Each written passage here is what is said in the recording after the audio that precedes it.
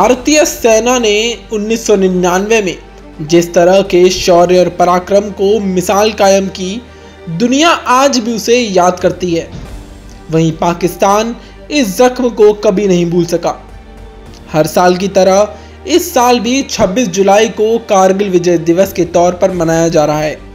दरअसल मई से लेकर जुलाई तक चले इस युद्ध में 26 जुलाई को ही भारतीय सेना का ऑपरेशन विजय सफल हो गया। इसलिए इस दिन को हम विजय दिवस के रूप में मनाते हैं।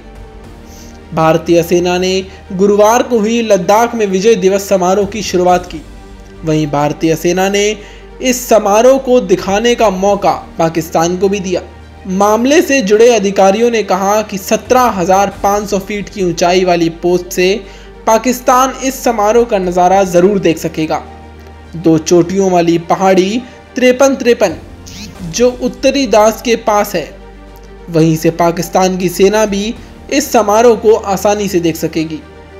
उन्होंने कहा, वो लोग हमें देख रहे हैं। उन्हें याद हो रहा होगा कि कैसे उन्हें हार का सामना करना पड़ा था और उन्होंने अपने सैनिकों के शवों को लेने तक से इनकार कर दिया। बता दें कि पॉइंट तिरपन तिरपन से पाकिस्तानी सेना श्रीनगर ले हाईवे का नज़ारा ले सकता है।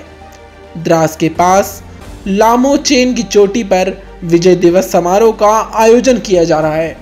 ये चोटी 11,500 फीट ऊँची है। रिटायर्ड अधिकारियों कारगिल के योद्धाओं और उनके परिवारों की उपस्थिति में कारगिल विजय दिवस की शुरुआत की गई। इस समारोह में सेना ने युद्ध को रिक्रिएट किया जिन चोटियों पर भारतीय सेना के जवानों ने बहादुरी दिखाई फिर से दिखाने की कोशिश की गई। लामो चेन से तिरपन तिरपन पॉइंट की दूरी करीबन तीन किलोमीटर है। यह पोस्ट कई सालों से विवादित भी रही। कहा जाता रहा है कि आखिर सेना ने इस पर कब्जा क्यों नहीं किया? हालाँकि शीर्ष अधिकारियों का कहना है कि ये विवाद बेकार का है। ये एलओसी के दूसरी तरफ़ है और अगर इस पर कब्जा करने की कोशिश की जाती तो ये अपने ही बनाए नियमों का उल्लंघन माना जाता। एक अन्य अधिकारी ने कहा, उन्हें पता है कि हम विजय दिवस मना रहे हैं।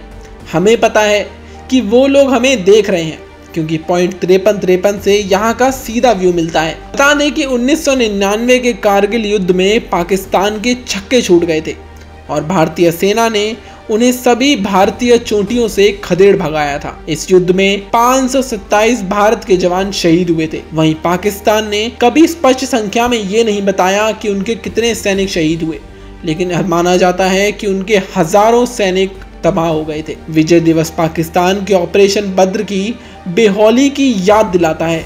एक अधिकारी ने कहा, पाकिस्तान के सैनिक इस समारोह को देखकर यही सोच रहे होंगे कि कितना भी कोशिश कर लो, परिणाम एक ही होने वाला है।